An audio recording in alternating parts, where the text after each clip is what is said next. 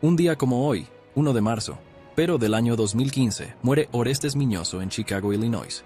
Notable jardinero. Se caracterizó por su tipo de juego agresivo, consistente bateo y gran brazo.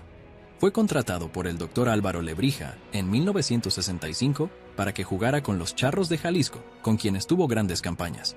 Le decían el Charro Negro. En la Liga Mexicana del Pacífico, fue gran estrella de Hermosillo y Mazatlán.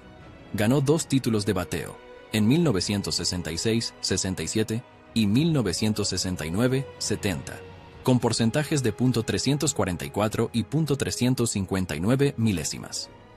Él es Orestes Miñoso, inmortal del Salón de la Fama, clase 1996.